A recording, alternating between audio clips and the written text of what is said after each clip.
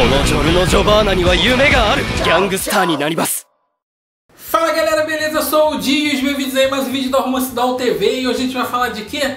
Jojo no Kimi Onabouken, parte 5, Vento Áureo Finalmente aí a adaptação em anime da quinta parte de Jojo estreou, já está entre nós Estamos aqui na terceira semana para falar o que do terceiro capítulo que foi incrivelmente muito legal mesmo né? O saldo continua muito positivo, a animação tá ótima, trilha sonora, né? Os caras estão caprichando bastante, tá muito divertido de assistir e as coisas estão esquentando cada vez mais.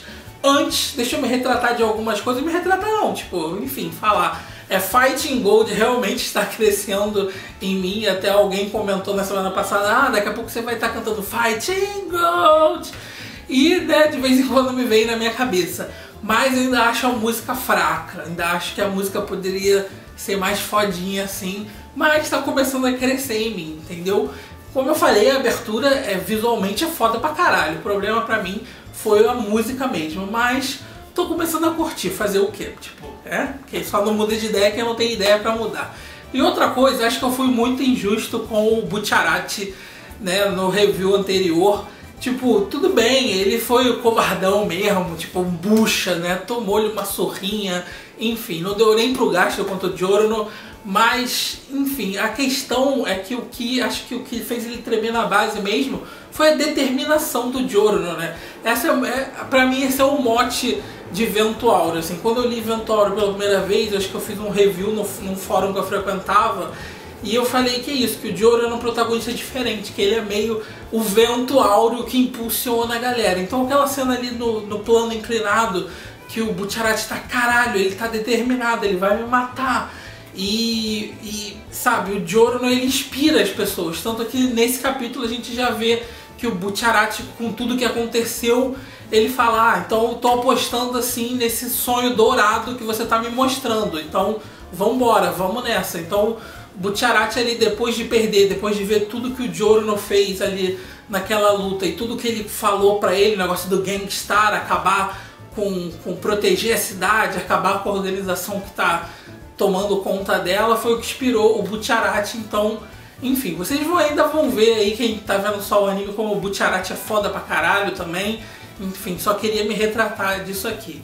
E voltando aí pro capítulo, né, eles têm essa conversa e aí o Butcherati começa a explicar da passione, passione.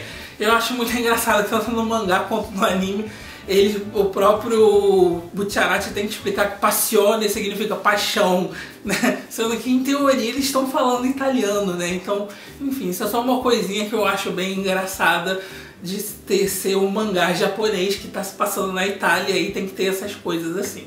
Enfim, tô, tô tergiversando aqui, mas foi bem legal. Só que na explicação do anime deixou de fora é, o Butcherati falando que a Passione tem 745 membros. Vamos ver se eu errei ou não. Faustão, errei ou não errei?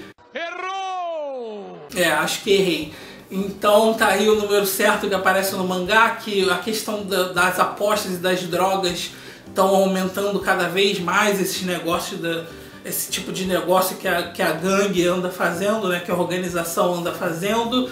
Eu acho que essa questão das drogas, das drogas, eles estão guardando assim para quando aparecer ficar um, um negócio mais impactante, enfim.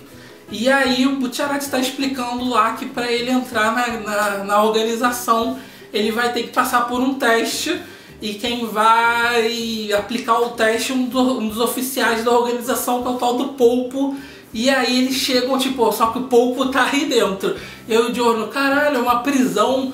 E aí o Giorno pergunta lá dos estandes, aí o Butcherati, ah, se você entrar aí, se você passar, você vai, você vai entender. Você vai perceber as coisas. E aí quando o Giorno entra, tem lá o body check, a revista. E eu gostei muito que esse episódio todo, a partir daí, fica meio com um clima de filme de terror, assim, a trilha, a iluminação, porque é um negócio bizarro, né? Ele chega lá na prisão e é, é tudo mal iluminado, assim, tem uns tons de verde, as cabeças, assim, enfeitando das estátuas no teto, a única fonte de luz é aquele vidro enorme, aí o Diorno fica diante daquele vidro, assim, tipo, porra, não tem nada aí. Então achei que foi tudo muito bem feito, a ambientação ficou muito legal. E aí tem a cena bizarríssima do Joro, né? escuta uma voz, ah, você machucou seu braço?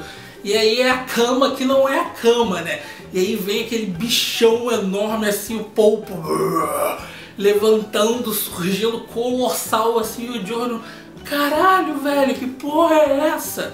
Achei muito foda, né? Ele fica conjecturando ali, pô, não, o polpo tá lá dentro, tá aqui fora, tanto faz. Inclusive com esse tamanhão, com esse corpo bizarro dele, acho que ele tá mais seguro aqui dentro.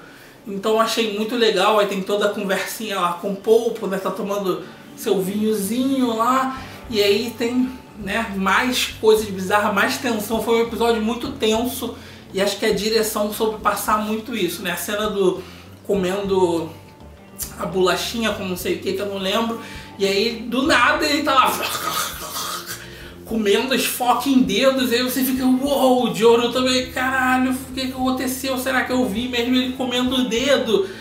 E foi bem legal, foi bem legal demais, assim, bem tenso. E aí começa o teste do negócio lá da confiança, achei muito foda, é muito foda isso. E aí passa lá o isqueiro e aí o Diorno já vai pegar, e ops, veio uma, um ventinho, pô, opa, calma aí moleque, tipo, toma cuidado, você tem que ficar 24 horas com essa porra ligada aí. Aí tem a cena do Diorno indo lá pegar o isqueiro, é bem foda. Só que aí na volta também tem que passar pela revista, meu filho. Eu achei um pouco exagerado, assim, que no anime os guardas já estavam de metralhador em punho, assim, tipo, com mó, mó tenso, assim, a mulher vai revistar ele, porra, sempre me dói muito ver, assim, alguém se queimando, e aí o Jordan tá lá com um negocinho, assim, na mão, e aí quando a mulher, tipo, não tem mais jeito, abre essa porra dessa mão, é só, só uma florzinha, né? Aí é muito foda, ele consegue escapar transformando a flor em, o isqueiro em flor e conservando a chama lá dentro. Muito, muito foda Gold Experience, roubadão, como eu já falei.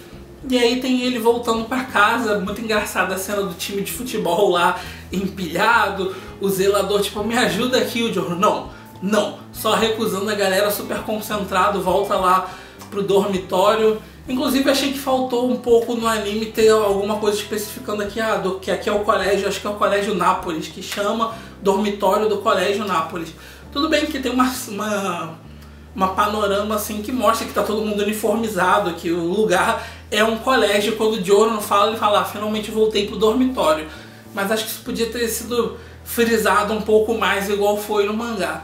E aí ele chega lá, faz o negócio do pão que como eu mostrei pra vocês, eu não queria dar muito spoiler, mas o site do Giorno tem o pãozinho com isqueiro dentro, dá pra você, pãozinho furado para você colocar o isqueiro, e ele tá lá se achando que tá tudo de boa, né? Eu vou deixar isso aqui, tá seguro, vou fechar a janela, e aí alguém simplesmente abre a fucking porta do, do, do dormitório dele, ele, caralho, quem é que tá vindo aqui? Aí quando ele se esconde lá do lado de fora, é o Coit, é o Coit fodaço, o moleque tá querendo passaporte, porra, né? Foda.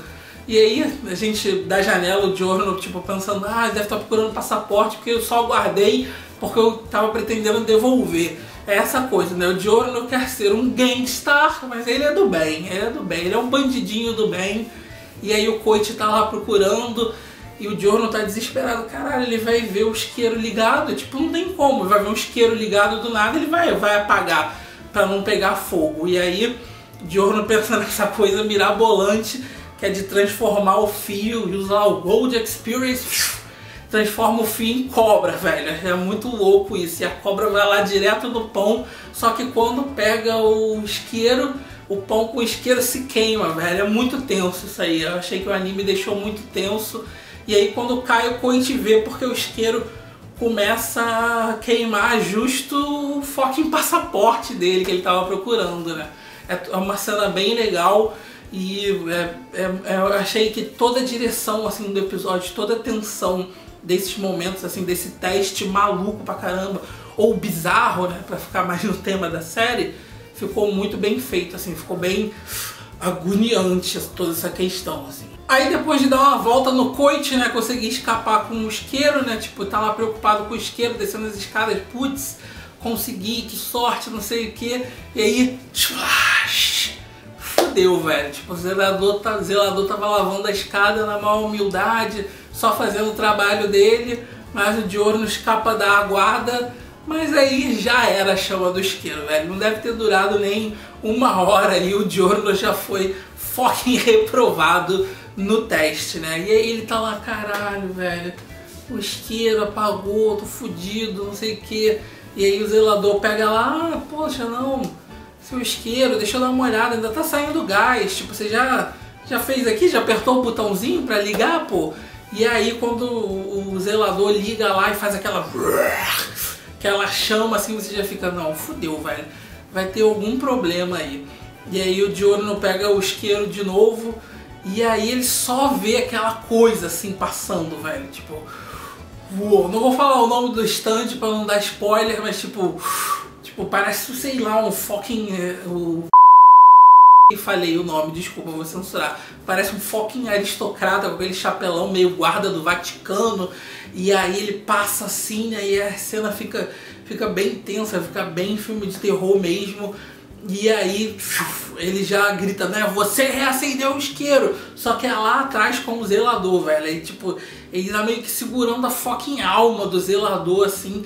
E aí manda, né? Você só tem duas escolhas, né? Ou ser um dos escolhidos ou morrer. E aí quando ele abre a bocona dela, dele, velho, o que que vem?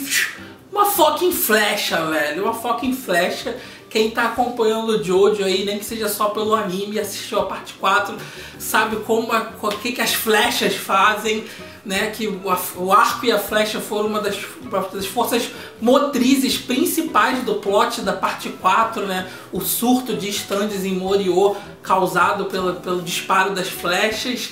E tem uma aí nesse stand, velho. E aí quando ele dá na testa da alma do zelador já era pro próprio zelador, velho. Não era um dos escolhidos e aí ele fucking morre sem tomar dano nenhum. De ouro lá, caraca, tipo, o corpo dele não aconteceu nada, mas ele morreu. Tipo, será que foi, que foi um ataque direto na alma?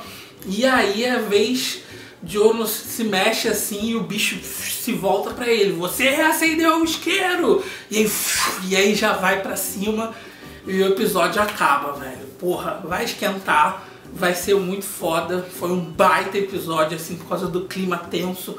Conseguiram passar muito bem toda a tensão do teste. Esse finalzinho foi muito do caralho. O próximo capítulo vai ser muito maneiro. Tenho certeza que a galera que tá só acompanhando o anime tá gostando demais.